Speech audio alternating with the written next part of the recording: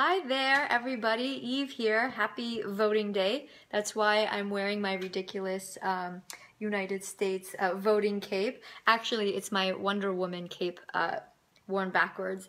Anyway, so today I, I know voting is a very personal thing, but what I do want to talk about is uh, voting for dieting and how people who vote to diet and to restrict may be stuck in a perpetuating cycle, a, per, a self-perpetuating cycle of overeating. And to do that, I have created this high-tech um, cycle for you to follow along of if the choices that you're making are actually per perpetuating overeating and being out of control with food. So the place that this cycle begins is at your thoughts and beliefs. So do you tell yourself over and over that you can't be trusted with food? Is everybody else around you struggling with food and are people around you on diets? Um, is it hard or impossible for you to remember a time where you did have a normal relationship with food or eating was easy? Do you set unrealistic standards about what your body should look like or the way you should be eating? And do these rigid standards don't include your body as it is or how your body is naturally? Do you believe that it's wrong to have a certain range of emotions? And do you live in a place of negative thoughts about yourself, about your body, or life? If so, that might be playing in to certain feelings. So you may end up feeling terrified about the next time that you may overeat. Or is there a lot of anxiety running through your body when you think about certain foods or certain places and the types of foods that might be there? Oops, you aren't able to see that. It says feelings there. Or are you feeling a sense of deprivation around the foods that you tell yourself you're not allowed to have? And is there a sense of self rejection about yourself or your body or your life um, or your looks uh, uh, the way it currently is.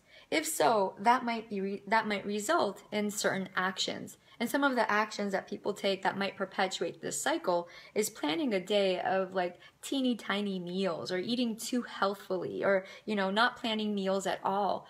Um, or, you know, letting yourself get too hungry so you feel totally deprived and you end up eating whatever or is your environment packed with foods that aren't supportive or foods that you have a hard time eating in a way that's easy and self nurturing?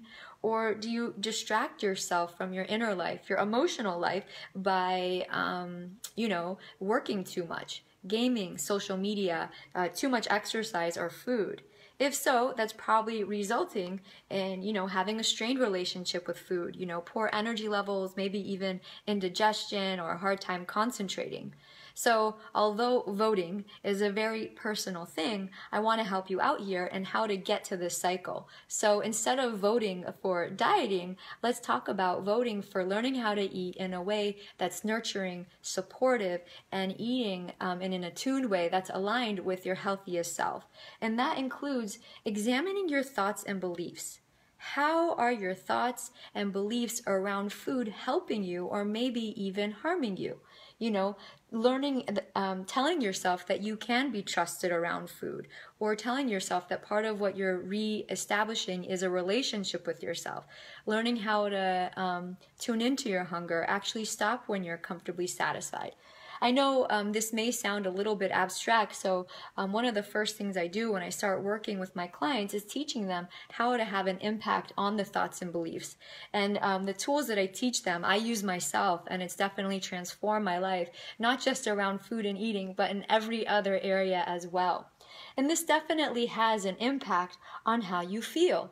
So it's very key to learn empowering ways to experience the broad range of your emotions and also learning how to um, enhance your capacity to feel comfortable around all types of foods in any food situations. I might actually talk about that in a future video because that is so important, learning how to be at ease in any food situation around any type of food. Learning how to um, uh, feel comfortable in your body by practicing acceptance and gratitude for your body, for yourself, for your life as it currently in, is ends up having an impact on your actions. And a really important action to take, you could start this right now, is plan to eat meals. I know that was very dramatic. I even paused to dramatize it, right? So, um, very dramatic. So, it's very important to take time every single day to have balanced, nourishing, and satisfying meals. Also, create time in your calendar just to be, to experience yourself. I know this is not an original thought, but so many of us are human doings instead of human beings. So it's really important to take time every day to be still, to tune in with yourself, and that really helps create fantastic results around body, around health, around food, so many other things that my clients get to experience and enjoy.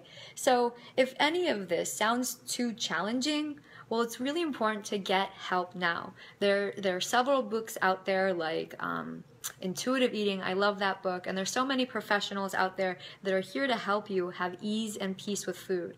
So if your relationship with food is causing stress or drama or a challenge or interfering with your enjoyment of life, it's really important that you reach out and get the help you need. So if there's anything I could do to support you, uh, feel free to, if you're watching this on fa Facebook, send me a private message. But if you're watching this anywhere else, you could contact me on my website at um, vitamineve at hotmail.com or my website, which is vitamineve.com. V I T A M I N E V E.com. I hope that was helpful. Um, I'd love to know your comments and what you think about these videos and what you'd like to learn about next. And I hope you go out there and vote. Thanks for watching. Bye.